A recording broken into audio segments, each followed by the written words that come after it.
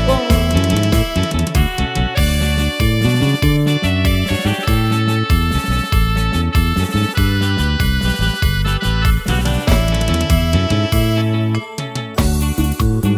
Ahí saludamos A todos mis paisanos freseros